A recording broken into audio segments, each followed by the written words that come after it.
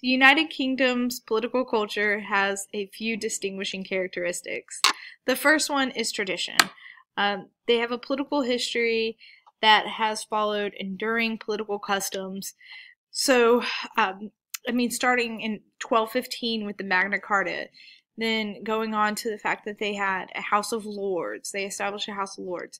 Then they had the English Petition Right, the English Bill of Rights. So they have a long and proud tradition of limited government and rule of law. Uh, gradualism, that kind of goes along with the tradition, is this idea that there hasn't been a violent revolution, that there's been slow reforms throughout the history of the UK where the king has agreed to give up a little bit of power to the parliament slowly but surely to the point where we don't even have you know, the UK doesn't have a absolute monarch anymore. They have a constitutional monarchy, even though they don't have a formal written constitution. And that goes on to the next one constitutionalism. Um, there's rule of law and limits put on the power of the government and especially of the monarch. Um, they have a tradition of self rule. Um, since it is an island nation that has been able to be isolated from the rest of Europe, they do have a strong sense of sovereignty or independence like and that's what's led to the brexit vote or part of the brexit vote that didn't, didn't want the european union union to really dictate what they could and could not do as far as um, admitting immigrants um, or you know what to do with free trade. And then there's this idea of consensus. Um, it unifies the people to work toward the common good of the country. Uh, so even if you are wealthy like you are a duke or Lord, you are willing to contribute or give over to um, the people who are less fortunate than you, and it's actually considered an obligation or noblesse oblige. Um, it's an obligation of the nobility to take care of the common people, and that's why you see that the UK had uh, a welfare state after World War II and the Great Depression is that idea of collective consensus. Everybody collect, everybody agrees, and then everybody distributes what they collected to everybody else who maybe isn't as fortunate as they are. Uh, so, so, social cleavages. Now you can imagine most people consider consider themselves the member of the nation in which they live. So Scotland, Northern Ireland, Wales, England, you know, people consider themselves English, Scottish, Welsh, um, or Irish, Northern Irish. And that's why there has been a devolution of power from London, from Parliament, to the uh, local governments of the different um, nations that make up the United Kingdom. Um, Scotland has a very strong national identity, um, and they actually, again, voted for that voted for the referendum to break off from the United Kingdom, but the Scottish people decided to stay. Um, N- Northern Ireland um, still remains under British rule. There is a there is the Protestant Catholic divide. We'll get to that in a second. Catholics, um, the religion, most of the um, Catholics that you're going to find in the UK are going to be Irish. Um, your Scottish and your English are Protestant. Okay, um, it says primarily before 1998. Happened in 1998 was the Good Friday Agreement, where Britain agreed to give Northern Ireland a regional government in which all the parties would be represented on a proportional basis. So we'll talk about what proportional basis representation means when we get to elections. But um, basically, it's an example of devolution or giving power over to the local governments. Uh, more recently, you have social cleavages with ethnic minorities or immigrants. Only about 7.1% of the population is non European origins. You do have a large population of Indians, and this is like India Indians. Um, and Pakistanians, partly because that used to be um, an empire of the British, is Pakistan and India. They were one place, India, and it was, of course, a, a British part of the British Empire. Uh, you'll have a lot of Afro um, Caribbean. Um, you have black populations, but minority ethnic populations did grow in the 10 years between 1991 and 2001. And immigrants from Eastern Europe, European countries, has increased um, with the EU. And again, that's one of the reasons why they voted for the Brexit, is because they didn't want to have to be forced to bring in immigrants from other places, specifically um, political refugees from Syria. Second most spoken language in the UK is Polish. I put that in there. There's a plate of pierogies. Um, I just think that's interesting.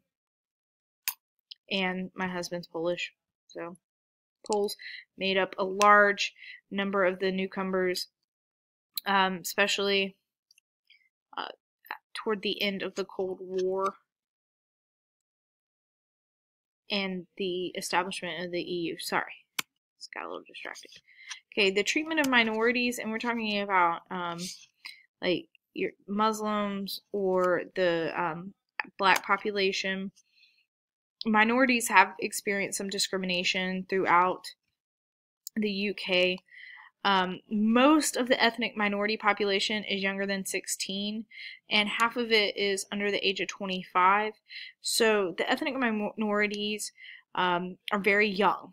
Okay, so they also are lacking a substan- substantial amount of economic opportunities. So when you have a bunch of young kids who can't find jobs and can't find opportunity, um, they're going to cause problems. I mean, that's just that's how it is in the United States too. So you're seeing um, a lot of the ethnic minorities um, are getting mistreated by police because of really racial bias or um, racial profiling. Um, there's also physical harassment by citizens. Um, marginalized, I mean, you know, they're discriminated against in ec- education and job training and housing opportunities. And the government has imposed immigration restrictions, and that really started in the late 1970s with Margaret Thatcher, and it continued into the 2000s. And you'll see that probably continue throughout um, the upcoming decade with the Brexit. So they don't have to accept anybody else into the country if they don't want to. They'll be sovereign. You know, they'll have their own authority and sovereignty to make those immigration decisions on their own without having to follow the European Union's um, standards and regulations. Okay, um, but I don't want it to sound all negative and bad for minorities in England there um, have been some successes with minorities. It's not like you know they're completely downtrodden. Um, oops, sorry. I was about to say this is kind of self-explanatory. So, among men of the minority groups, the proportional representation in the professional ranks is actually higher than that for white men, meaning um, that minority men are actually getting the hire or getting jobs or getting hired even though they are experiencing some discrimination. But they compared to their percentage of the population overall they are represented in the workforce. Uh, class division is deeply embedded in UK culture, and that really goes back to the whole Duke and Lord and being granted land from the crown. Um, you have social class distinctions that still exist today. Uh, you have your working class uh, versus your middle class. And it's funny because even in London, or not in London, but even in the UK, people will distinguish people's class by their accent. So if you have a certain a certain way of talking or a certain accent, um, you could be called out for being like working class or middle class versus like the elite class.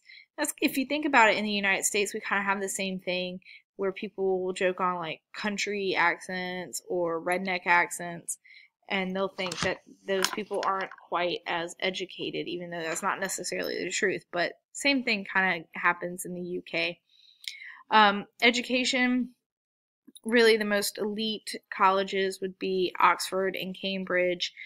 And if you were an elite, you had access to that kind of level of education. Um, then there's geographic and economic um, divides the south of England versus the north of England, Scotland, and Wales. So here you have south and then north. Um, the wealth and high tech industries are in the south part. So there you go Cambridge, um, Hastings, Plymouth. All right, those are places that you might have heard of, and they have um, a little bit better economic situation in the south.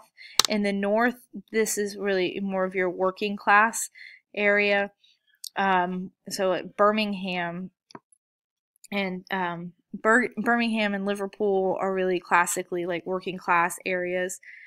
Um, if you've ever watched uh, Peaky Blinders, Peaky Blinders is about uh, um, England in in the interwar period between World War One and World War Two, and the Peaky Blinders are from Birmingham, and they are like working class folk, and they actually run a gang. But anyway, that's that they're working class, like coal miner type folks, and then your southern people would be your more educated elites.